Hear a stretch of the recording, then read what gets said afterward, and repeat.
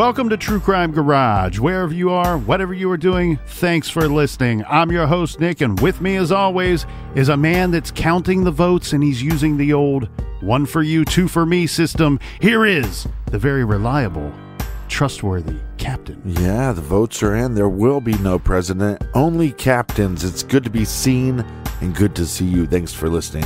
Thanks for telling a friend.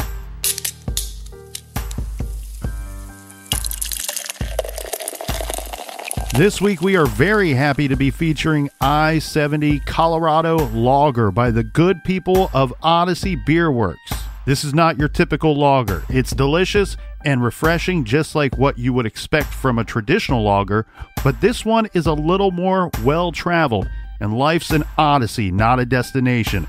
Garage grade three and a half bottle caps out of five. And let's give some cheers to some of our non traditional and well traveled friends. First up, cheers to Troy and Provo, Utah. And a shout out to Danielle in Townsville, Australia. Next up, we have a cheers to Linda in Ephrata, Pennsylvania. And a big we like your jib to Katie in Madison, Wisconsin. Next up, Captain, we have Rachel in Parts Unknown. She is the proud owner of a Feeling Fami shirt and part of the Ban the Van movement.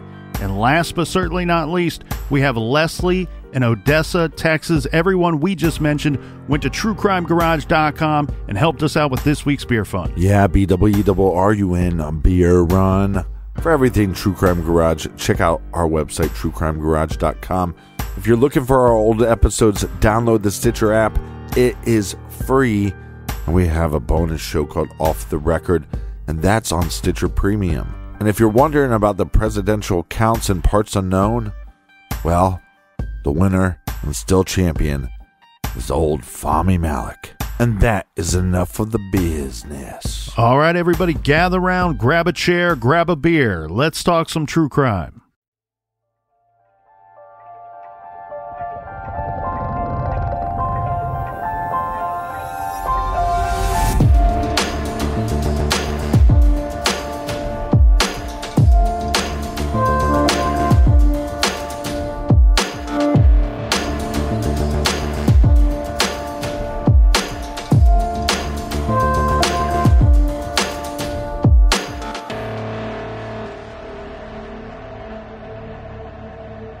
In the psychedelic jazz rock song, Riders on the Storm.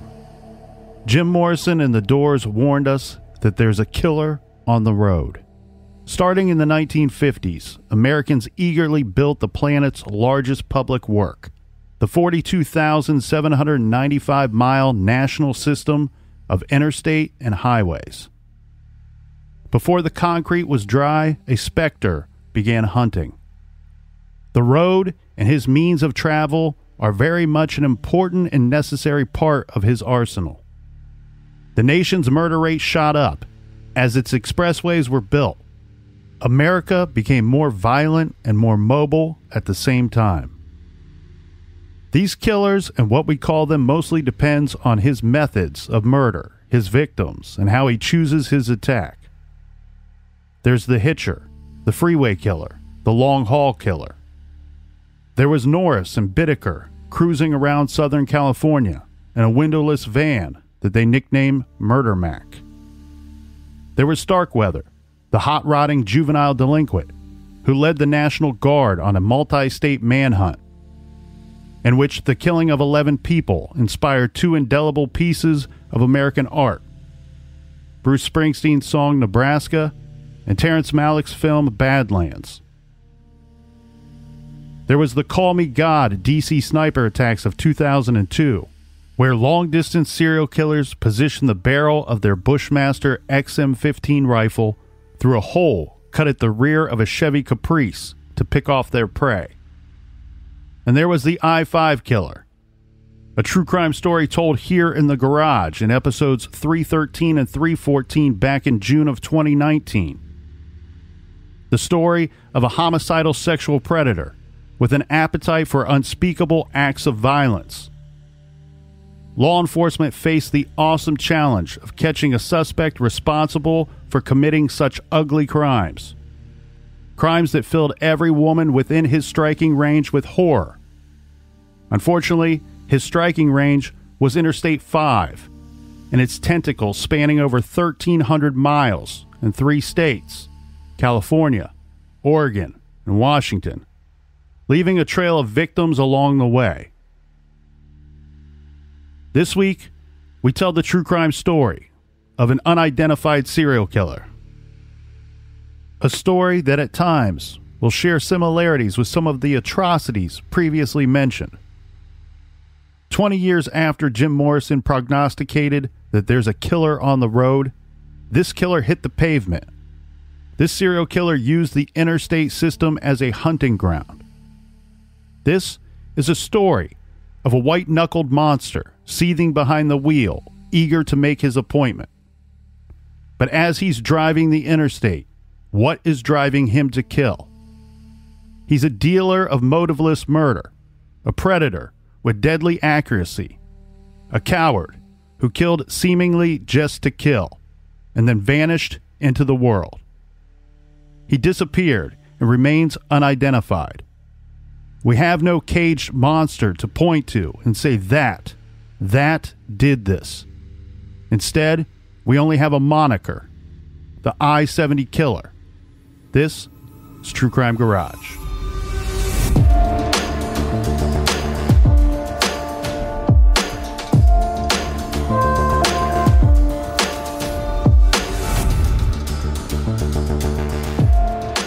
Interstate 70 or I 70 is a major east west interstate highway in the United States that runs from Utah to Baltimore, Maryland.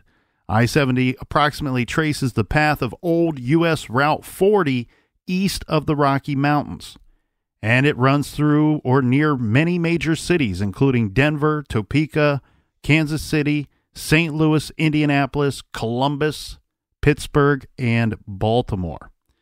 I 70 is 2,151 miles long, and some of those major cities that we just mentioned will be important to this week's case, especially Indianapolis, Indiana, where we will start off. This takes place on Wednesday, April 8th, 1992.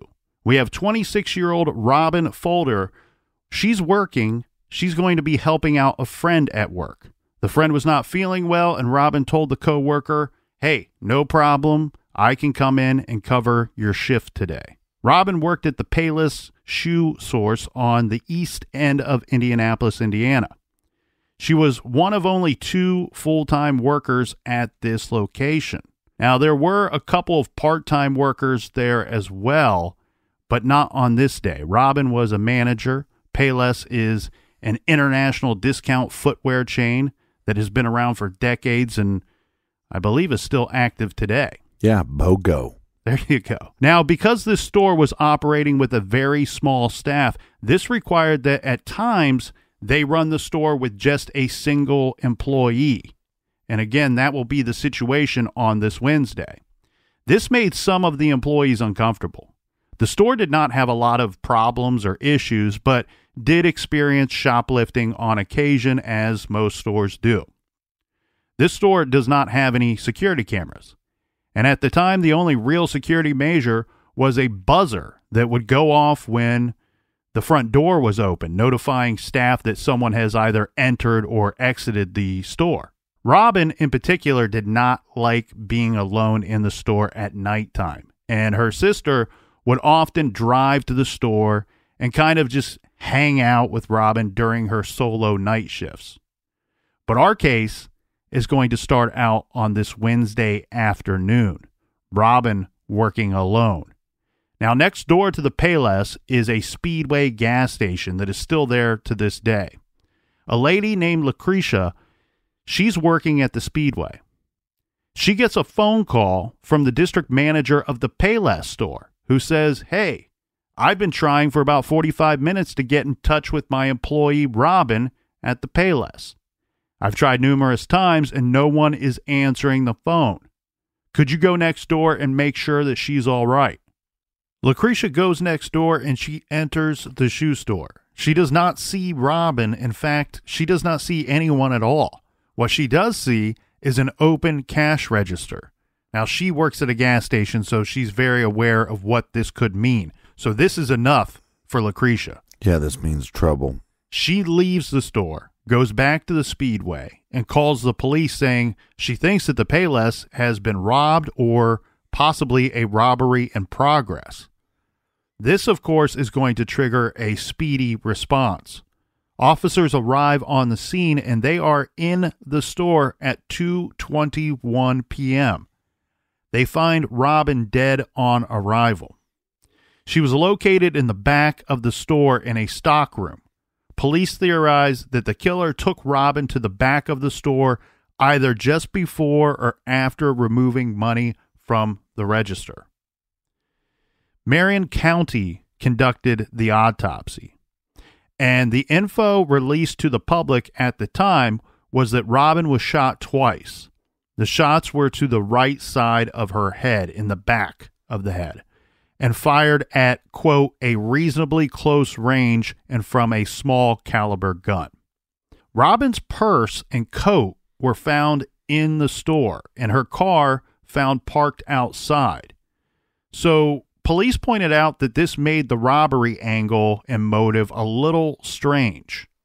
They felt that if somebody came in there and the sole purpose of the attack was for robbery Right.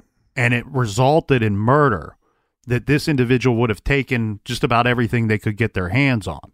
And it doesn't appear that they did that, not just because of her purse. Maybe maybe it's as simple as they didn't see her purse. But what we do know is there was $50 left in the register.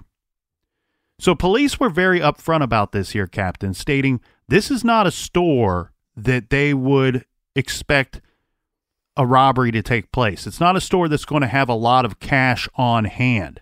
Not a great target for a robbery. And then to top that off, they find $50 left in the register. Yeah, but th- there's been several people, especially like people that rob banks often, where they talk about you go in. The main thing is to have a location that, that, that there's no security. Mm-hmm. You might only get a couple hundred bucks, but your risk of getting caught is so low that you can. Now you just have to duplicate that over and over again. Right. I guess the thing that makes this one extra tricky is the murder that's involved. Right. Why not, as you just pointed out perfectly, the security level at this store is terrible. There, there is none. We have a single female working by herself that day. There's no cameras. And it's fairly quick that you can get back on a speedy route out of town as soon as you hit this store.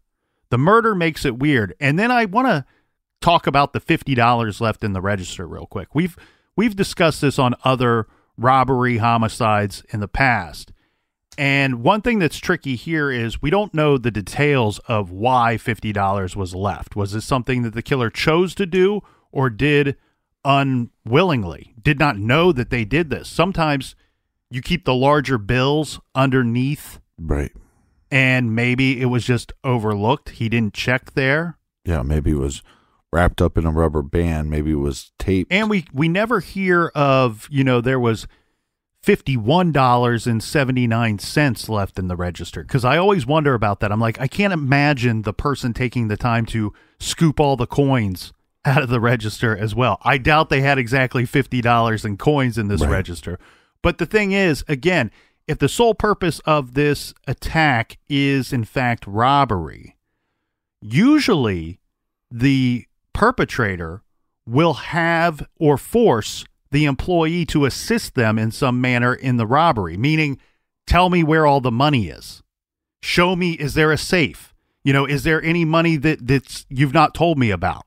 So usually they're good about getting all of the cash that they can because they are threatening the employee to help them figure out where all the money is. Right. But then, as far as law enforcement goes or a detective goes, you go, okay, well, maybe the robber just didn't know that there wouldn't be that much money in a store like that. So maybe they're not like a highly sophisticated robber. Mm-hmm. But the murder makes you believe that the person knew the person working at the store, the victim. Right, because what we have here is a situation where the murder seems unnecessary for the purpose of robbery. You could have went in there if this person does not know you. Boom, you stick a gun in the face, show me where all the money is. Okay, I got the money. I'm out. I'm in my car. I'm heading towards the freeway. No murder necessary. Right. Show me the money. The timeline, I think, here is interesting. Let's go through this real quick, too. So we have the police who said in the papers immediately that they were looking for persons who had been in the store that day to come forward. Maybe they had seen something or heard something of importance, whether or not they knew it. So, anybody that shopped at that store on that day, we want you to come forward and speak with us because you may have seen something that went down prior to this robbery and homicide. Yeah, no offense to Payless, but when I was a kid and you'd get Payless shoes, which happened several times, you would not want to admit to your friends that you had Payless shoes on. You would say maybe you got your shoes from Kmart or Walmart or anywhere other than Payless. What they really wanted, what police really wanted, Captain, was to speak with a customer involved in the last transaction, the last known transaction. So the last transaction was recorded on the register at 1:12 p.m.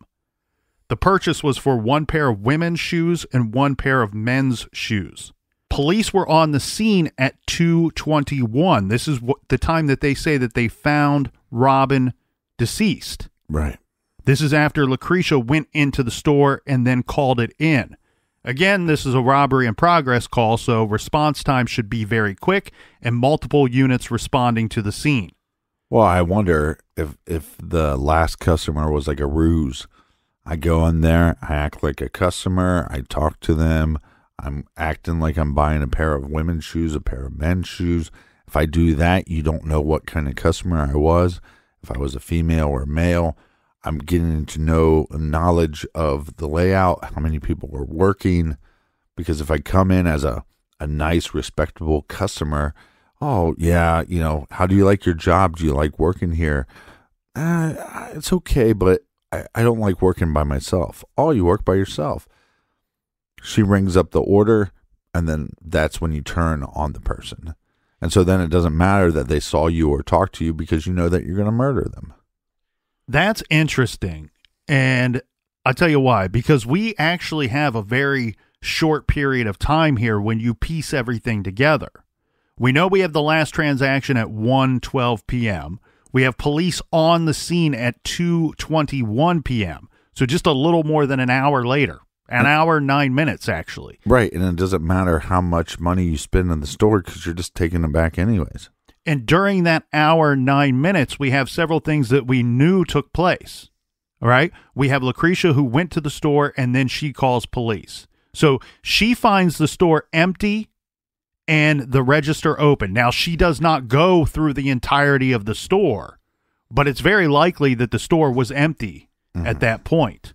So let's back this up just a few minutes. If you back this thing up, let's say 10 minutes 15 at the very most between the time Lucretia shows up, police arrive on the scene.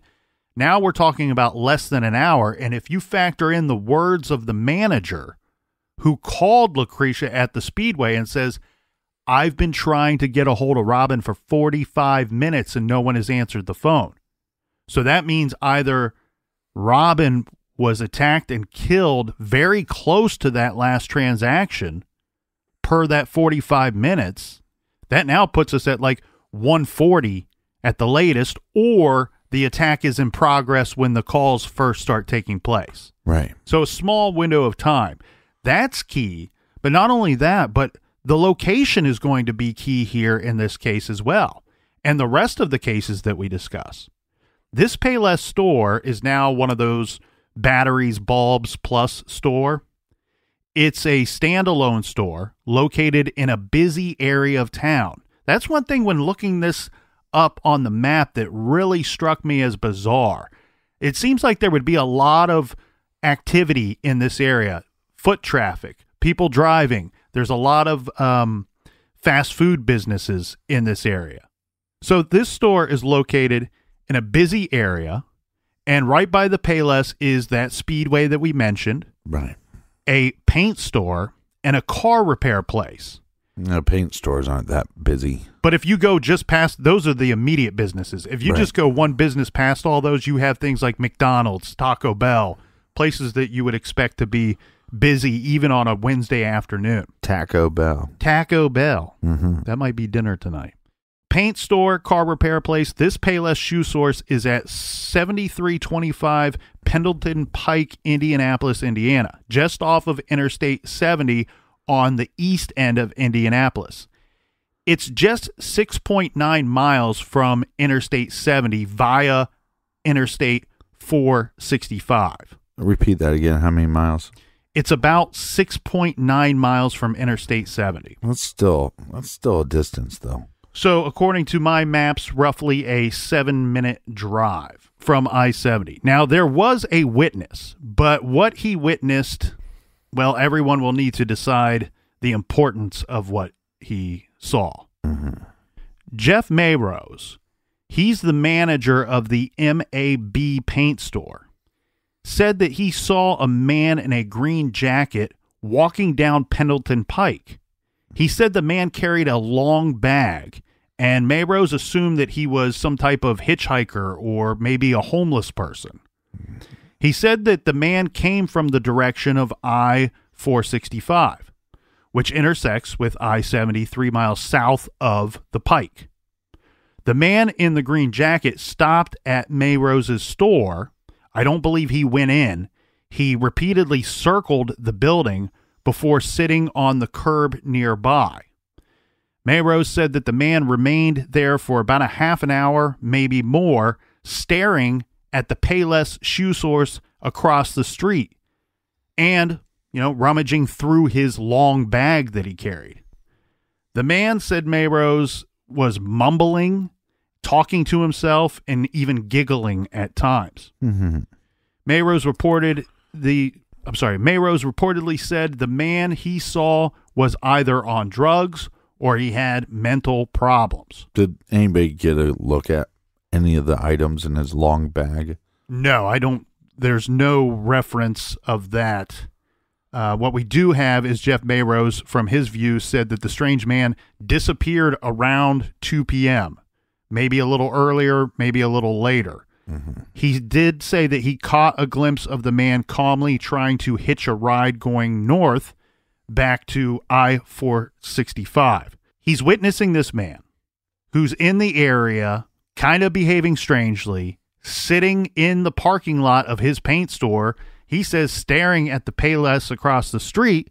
Man disappears for a little while, and then he, when he reappears, he sees him, he believes, trying to hitch a ride back north. Right, which again, it's eyewitness report, so you got to take it a little bit with a grain of salt. But the idea too that somebody's going to rob um, a shoe store, be in a green jacket with a long bag, and then decide to hitchhike after they robbed and murdered somebody seems a little odd, right? seems extremely odd because I want to take this a step further. I keep hinting around the idea that the the robbery is less a part of this than it than it may be. That the murder might be the actual motive here. And if that is in fact true, we don't know, but if it is in fact true, that means that this individual likely showed up to that area knowing their intent was to murder someone and then as you pointed out, how dumb would it be to say, "Oh, I have no way of getting out of here other than my own two feet or my giant thumb in the air trying to hitch a ride out of this area. I mean, Right. if he doesn't successfully find a ride or if he can't haul ass out of there fast enough on his own two feet, he could still be standing there near the store when police arrive on the scene at 2:21 p.m. But like I told you, when I worked in Richmond, we had downtown Richmond, like the historic district is what they called it. There's multiple banks, and we started getting robbed all the time, like all the different banks. Now mm-hmm. my my bank never got robbed.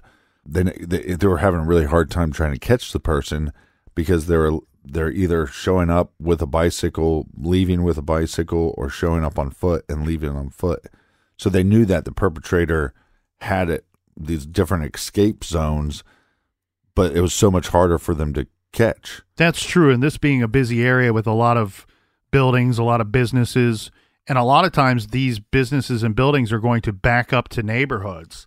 Someone, I guess, could be out of there pretty quickly, or at least uh, in an area where it'd be harder to track them down. Now, very sadly, Robin Fuldauer was Only 26 years old, she was a very kind soul. She was intelligent, hardworking, and a caring person, said her sister Susan. Robin wanted more than anything to get married and start a family. Only 26 years old, Captain.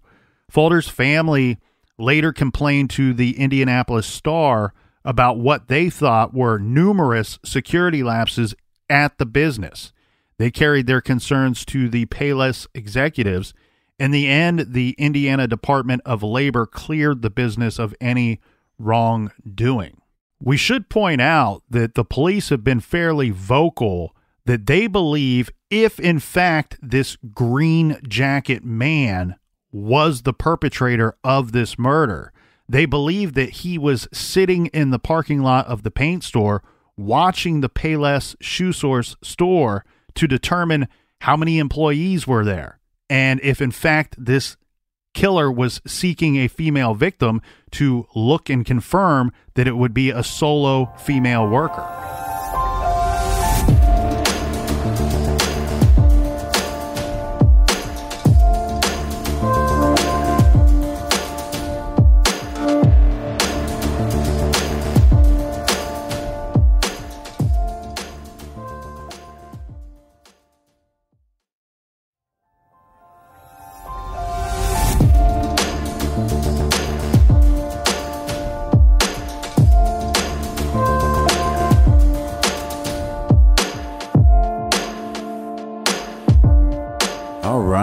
We are back.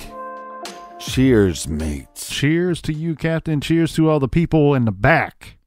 Now, three days later, April 11th, 1992, just three days later, we will have two more victims. This is Patricia Magers and Patricia Smith. Patricia Magers is 32 years old. She is the owner of the Le Bride de Elegance Bridal Shop located at 4613 East Kellogg in Wichita, Kansas. We're in a whole different state here, Captain. I was born in a different state. Patricia and her husband Mark Magers bought the store in February of 1991, so just uh, about two months earlier. He says the store was primarily for her, saying that she really enjoyed working with the customers and the bridal environment.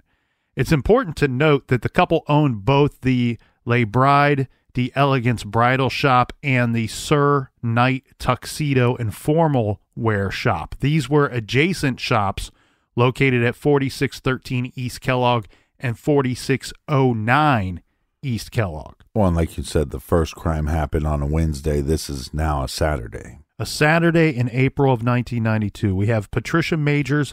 She will be working with employee Patricia Smith. Her maiden name is Trendle. Patricia Smith is 23 years old, a nursing student at Wichita State with plans to eventually pursue pediatric care. She's a newlywed, married to Norman Smith for nine months by this point in our timeline. This was the only case, and there's going to be a series of these, the only case involving multiple victims. Investigators believe the killer was under the impression that there were there was only one woman in the store at the time. Normally, Patricia Magers was not in the store on a Saturday at this time.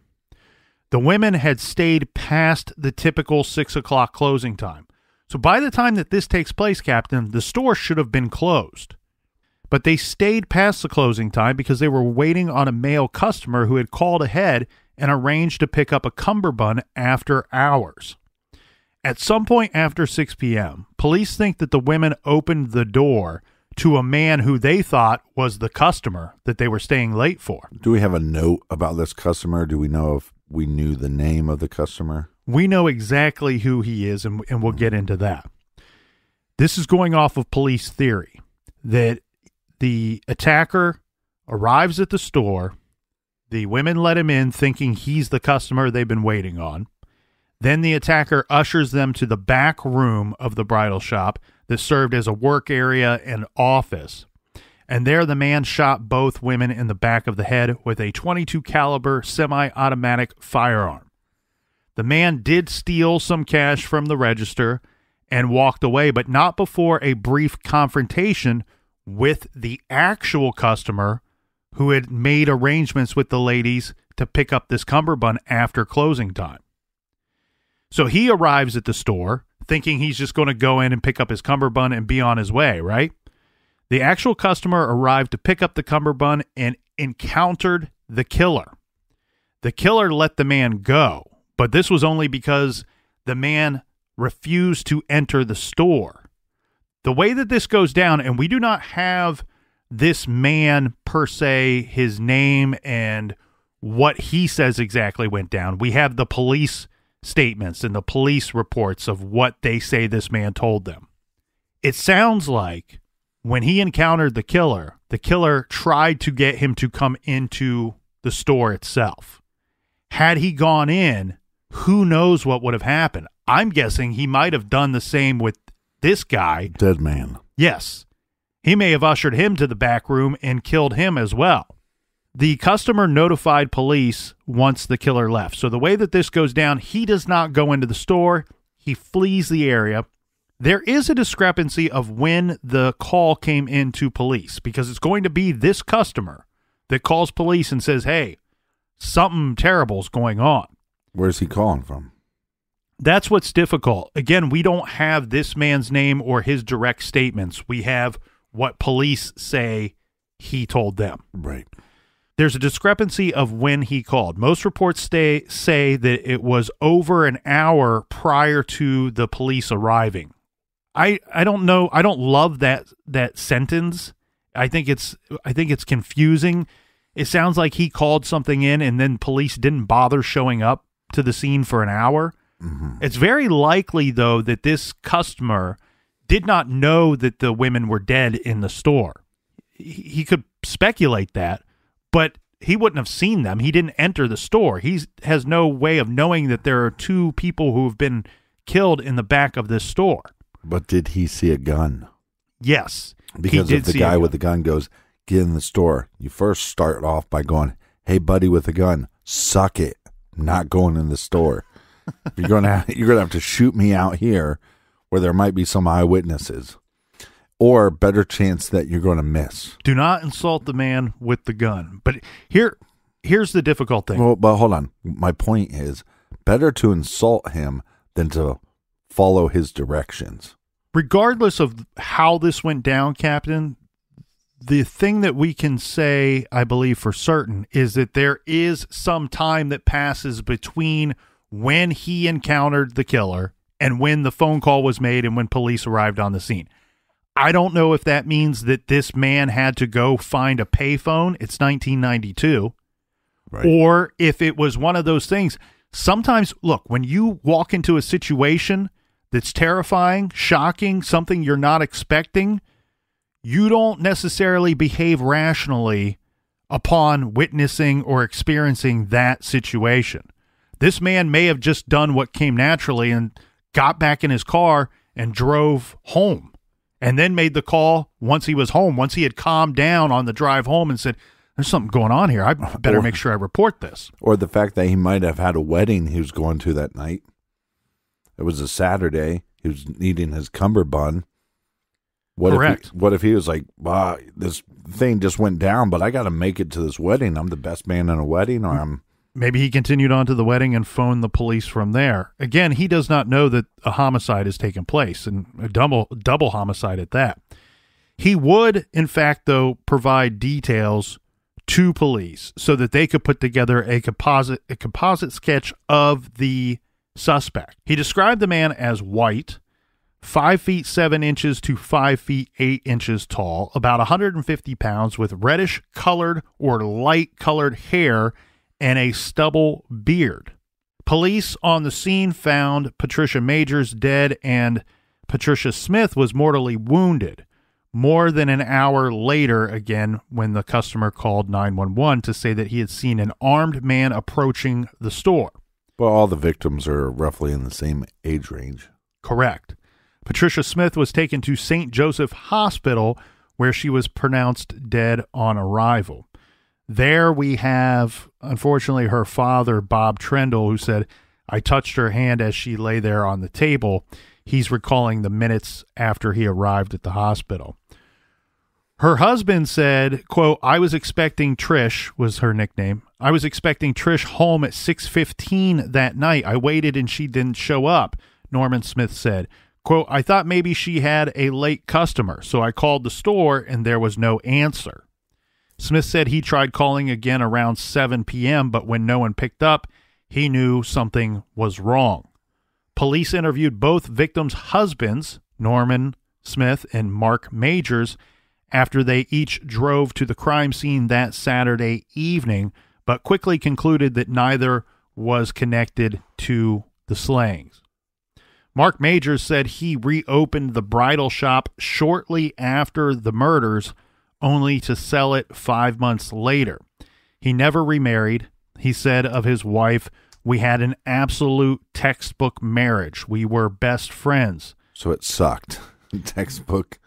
It was a textbook marriage. There you go. He's saying that it actually took him about 13 years to fully accept and get through the grieving process, Yeah. but he never really moved on. He said he harbors no ill feelings toward law enforcement for not catching Patricia's killer. This should not be a spoiler alert to anybody out there. This is not a spoiler because we said in the trailer this is an unidentified serial killer that we're working with, that we're talking about here today. Now, after 26 years, Bob Trendle, father of Patricia Smith, said that he did not expect Patricia's murderer to be found in his lifetime. 26 years after the fact, he's saying this to the papers.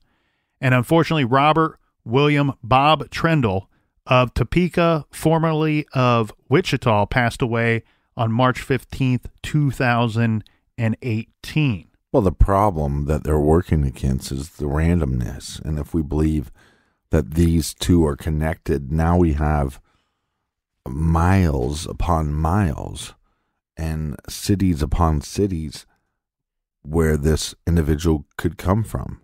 Yes. We first started off in Indianapolis, Indiana, and our second case is taking us all the way to Wichita, Kansas. So let's talk about the location of this store. It's located at 4613 East Kellogg Drive, Wichita, Kansas.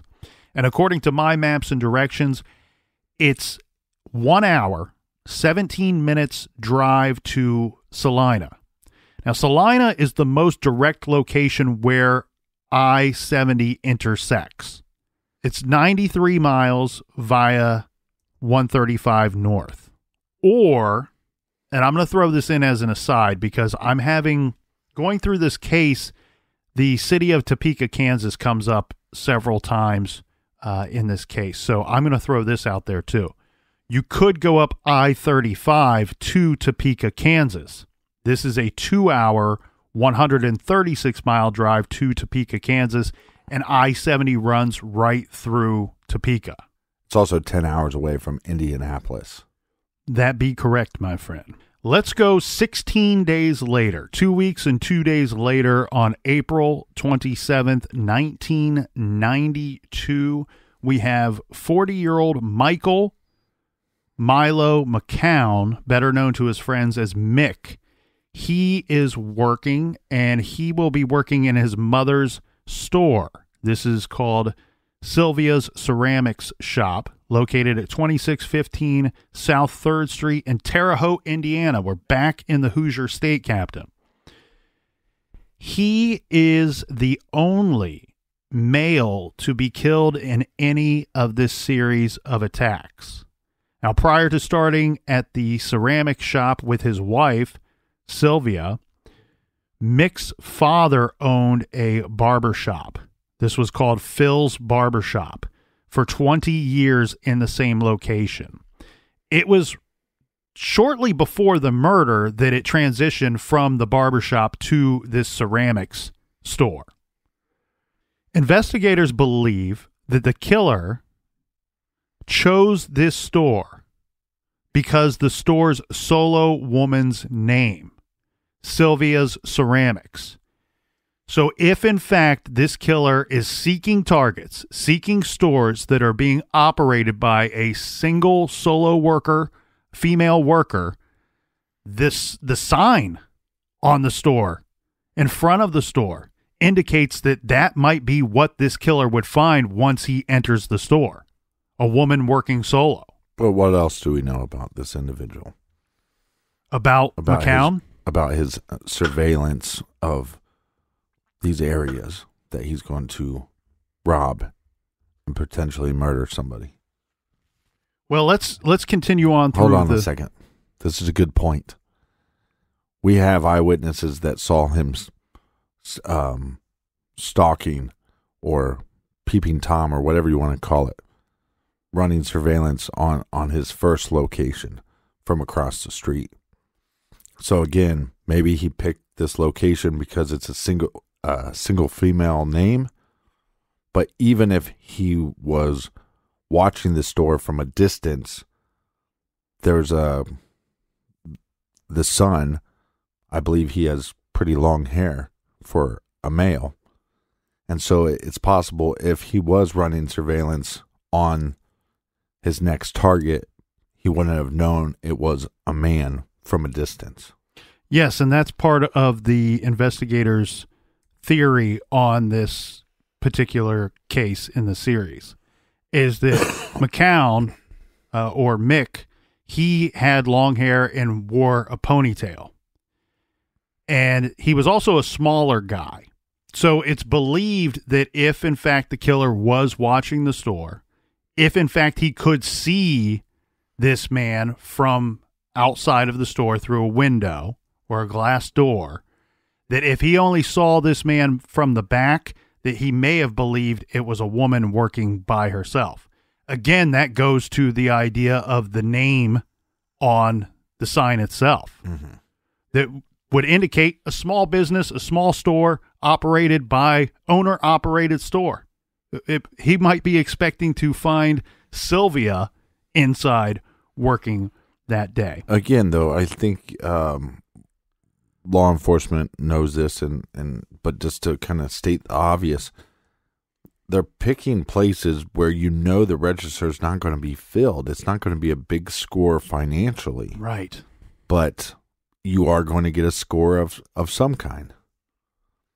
Right. It's the trade off that you were talking about earlier. If you want to make a whole bunch of money, you go rob the McDonald's that had served a billion Big Macs that day. Mm-hmm.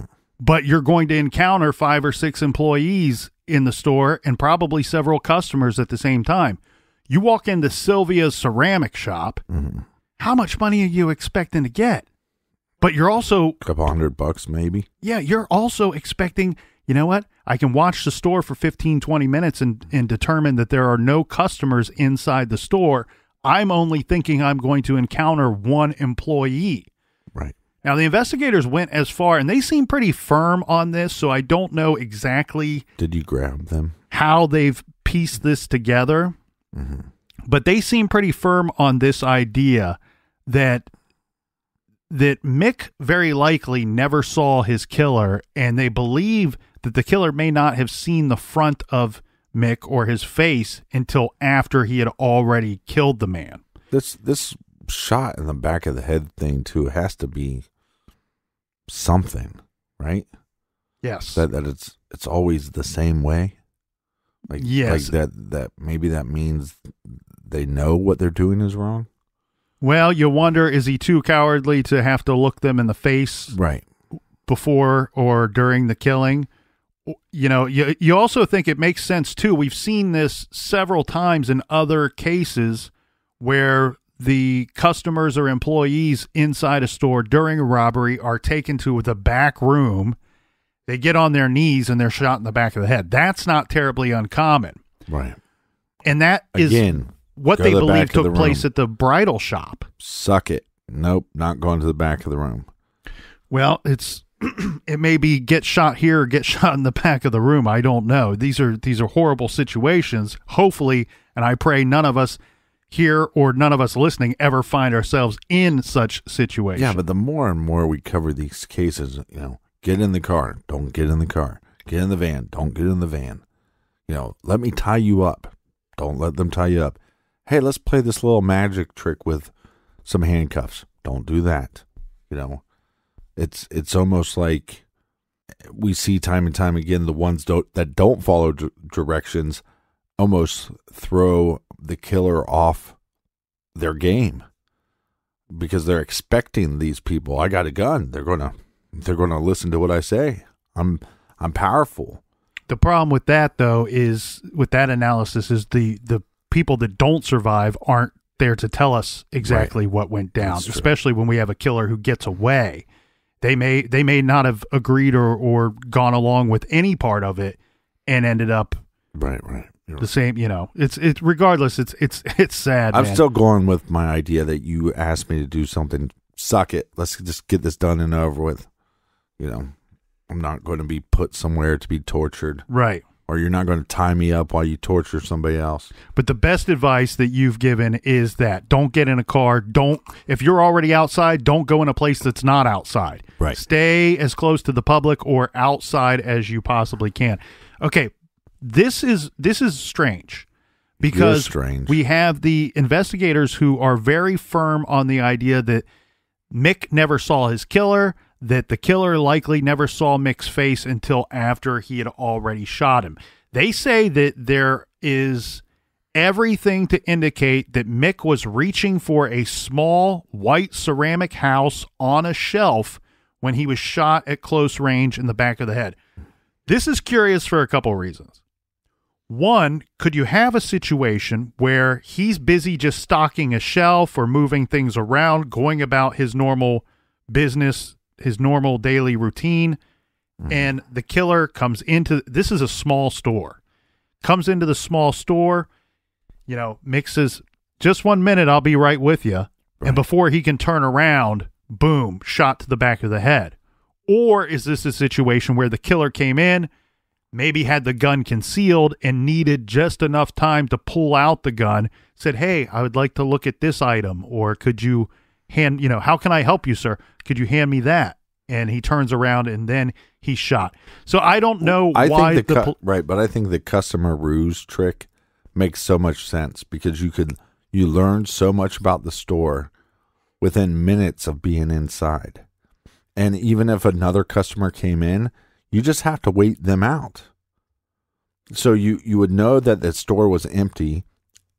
Most of these stores have little dingers on the door, so you would know if somebody else came in and you would get the lay of the land real quickly or within a, a couple questions like we were saying before Mhm. to know that this indi- individual's by by themselves And you would think after the the last attack, if in fact the killer really wants to only walk into a situation or kill in a situation where there's just one employee working, that maybe they go in under the ruse of being a customer to confirm right that's that in yeah. fact that there's nobody else in the in the building itself. I don't know how much I believe that that the killer never saw Mick's face or that Mick never saw the killer. I, I again, we don't know what information the police have to kind of sound like they're pretty firm on this idea. Mm-hmm. I question this for several reasons because what I think we're dealing with here, Captain, and I've I've not really been good at hiding this for f- at all because I don't want to. I don't know that I think that robbery is the primary motive here. I see a series of killings where it sounds to me and looks to me like killing might be the motivation, might be what this guy is after, and the robbery is just something that takes place during this goal of killing. I don't think if and if that in fact is true, there's no reason for me to believe that this guy walks into this little store and all of a sudden discovers, "Oh, it's a man working, not a woman." And then walks out. That's a possibility, but I think we're dealing with a guy that once he's made up his mind he's going to strike, he strikes. So what we have here is we have Mick McCown is shot once in the back of the head with a 22 caliber gun. The there was still a small amount of money in the register. So again, the robbery motive is very weird here. But McCown's wallet was gone. However, police found $15 in McCown's pocket. So the killer took the time to take the wallet, but didn't check the pockets. Hmm. His body was discovered by a customer around 4:15 p.m. The investigation seemed futile. It was as if a ghost had walked in, shot the man, and then left, leaving no trace of himself behind.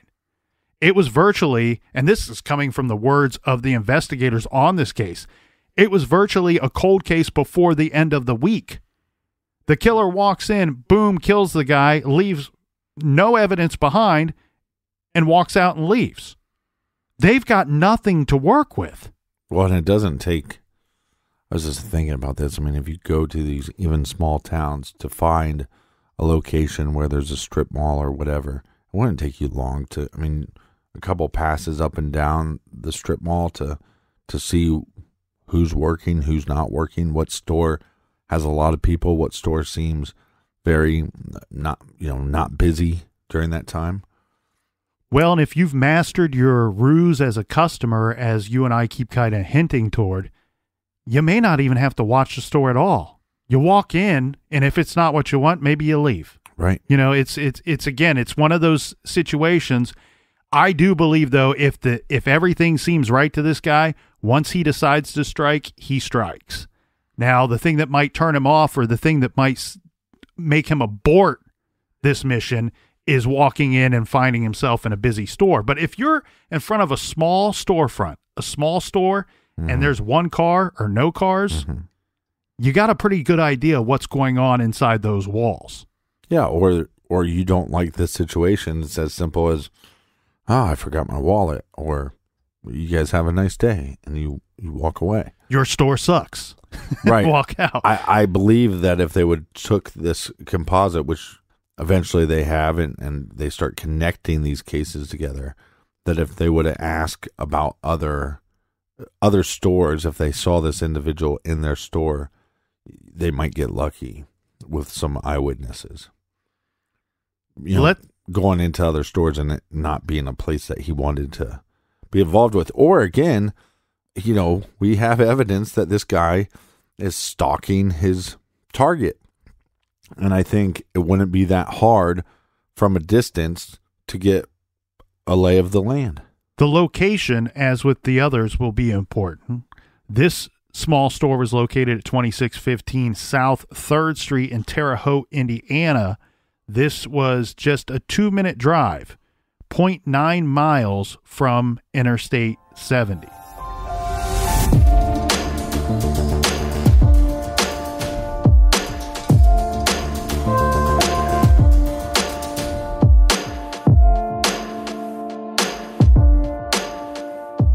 And if you're ever curious what what we look like, what the colonel looks like, what the captain looks like, what any of these cast of characters in the episodes look like, you can follow us on Instagram because we post all that information there at True Crime Garage. Join us tomorrow. Back here in the garage. We'll see you then. Until then, be good, be kind, and don't litter.